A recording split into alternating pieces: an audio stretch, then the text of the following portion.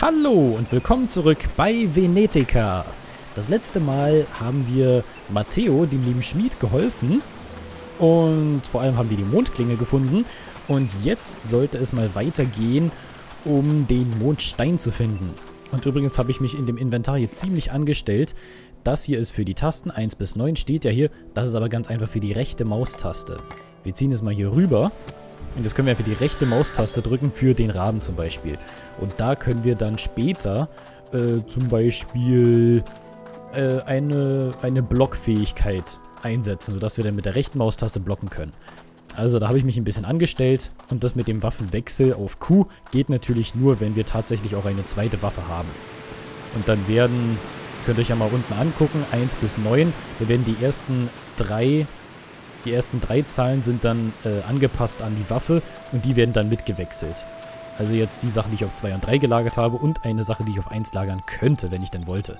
Jetzt wollen wir aber erst einmal hier den Legenden hinterher jagen und die Bergarbeiter mal nach dem Mondstein fragen, weil den brauchen wir, äh, eh, genau, eh war's. So, weil den Mondstein brauchen wir ganz dringend.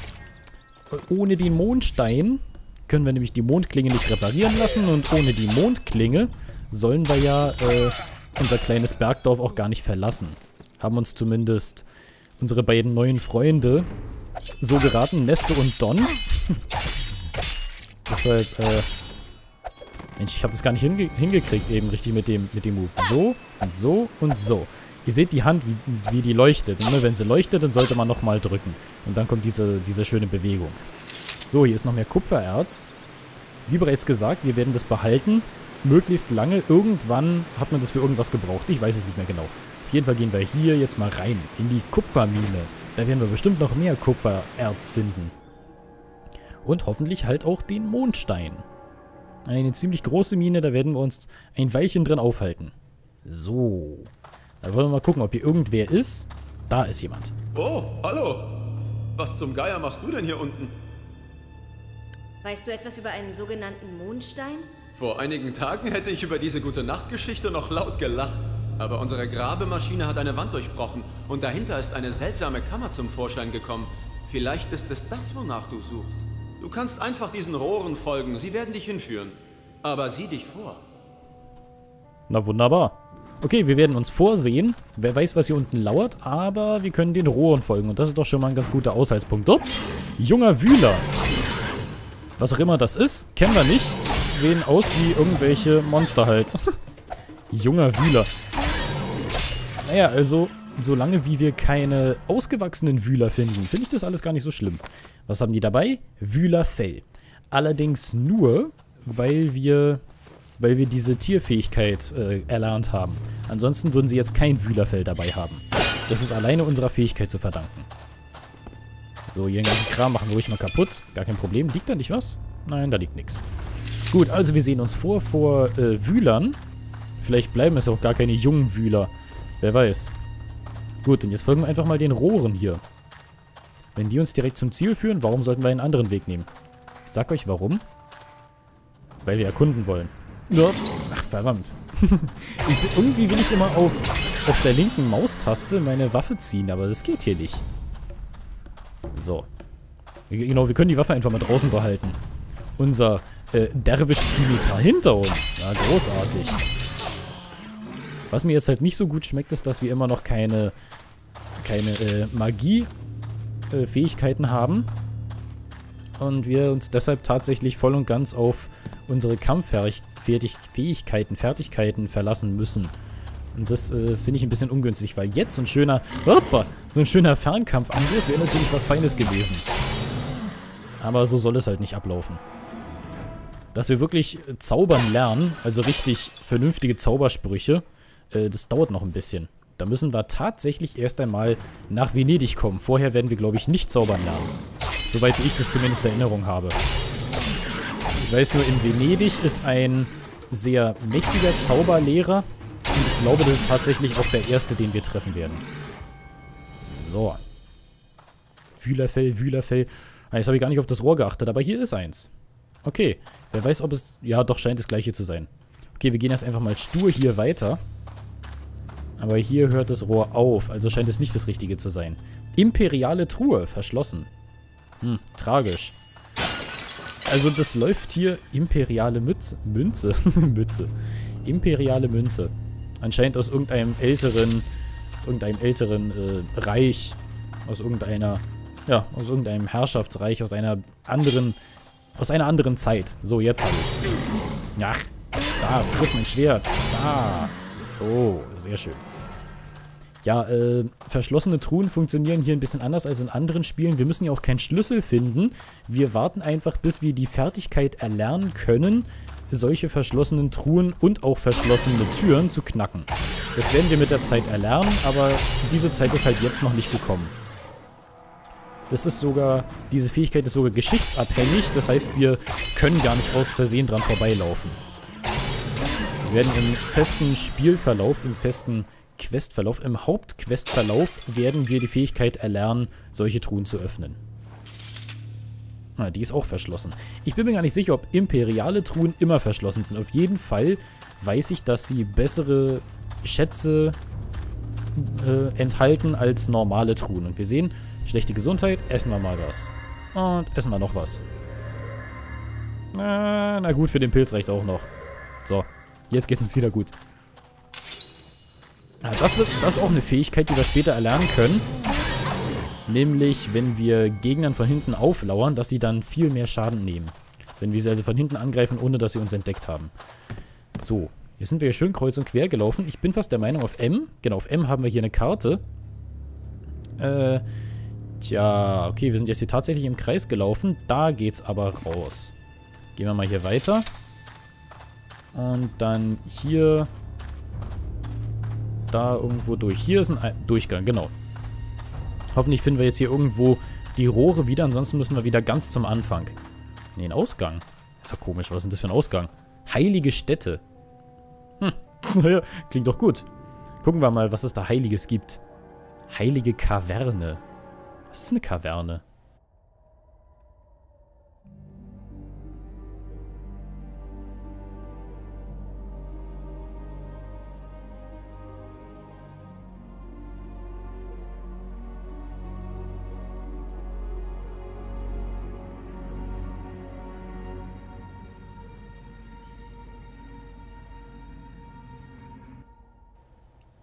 Okay, ohne allzu lange nachdenken zu müssen, würde ich einfach mal sagen, an der Statue fehlt was. Die Statue ist beschädigt. Tja, in der Tat. Und zwar fehlt der Kopf und der ist hier. Setzen wir den mal drauf und gucken, was passiert. Hier steht ja Portalfigur.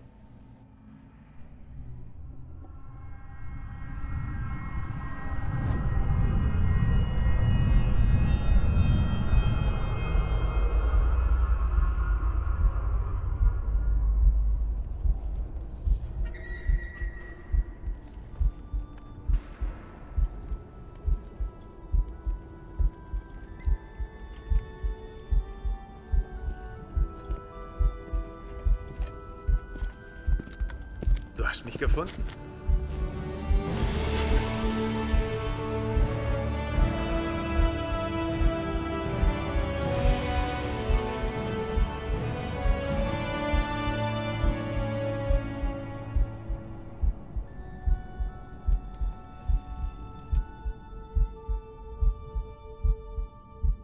Benedikt. Ich bin froh, dass du mich gefunden hast. Ich habe deine Gegenwart die ganze Zeit gespürt. Du warst nie wirklich weg. So sehr ich mir auch wünschte, dass es anders wäre. Aber ich bin nun an einem anderen Ort. Aber ich habe einen Weg gefunden, wie ich dich erreichen und dir bei deiner Aufgabe helfen kann. Ich werde deinen Tod rächen. Das ist nicht das, was ich von dir will. Deine Aufgabe ist viel wichtiger als ich. Ich bin so durcheinander. Wie soll ich das alles ohne dich schaffen? Denk einfach daran, mit deinem Herzen zu entscheiden.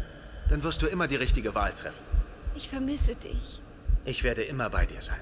Bitte, geh nicht. Nimm das hier von mir. Es ist ein Geschenk. Eine Gabe, die deine Macht steigern wird. Setz sie weise ein.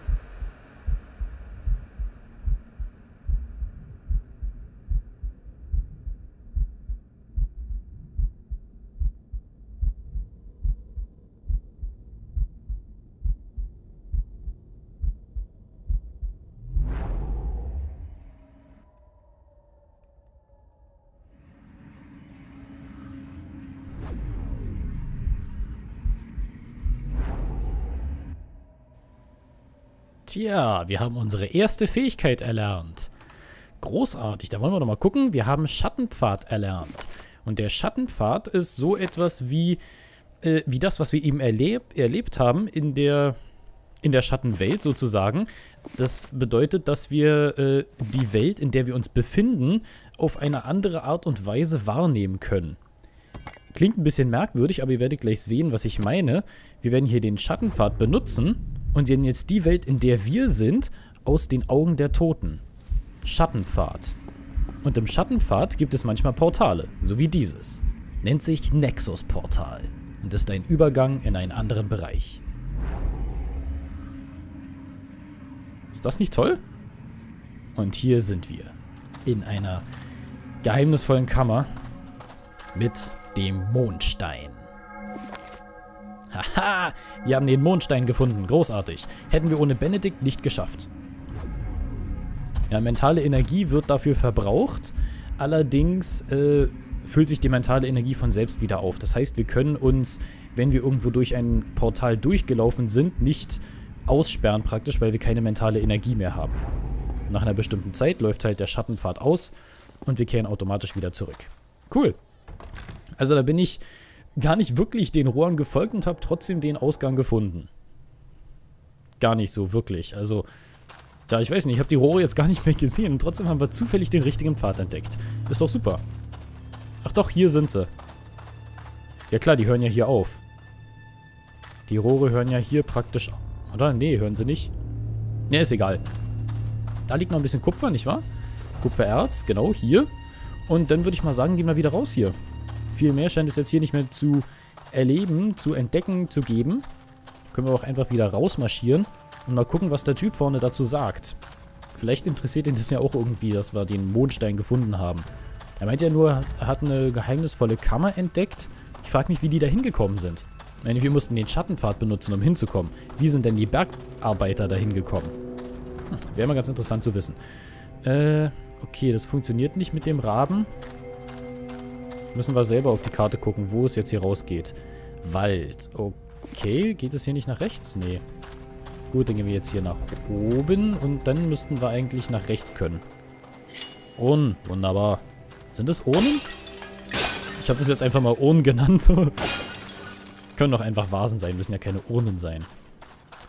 So, warum geht denn das jetzt hier nicht... Ah, okay.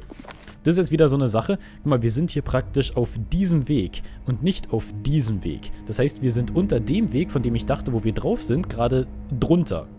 Das ist ein anderes Stockwerk. Das ist manchmal ein bisschen verwirrend, da muss man ganz genau auf die Karte drauf gucken.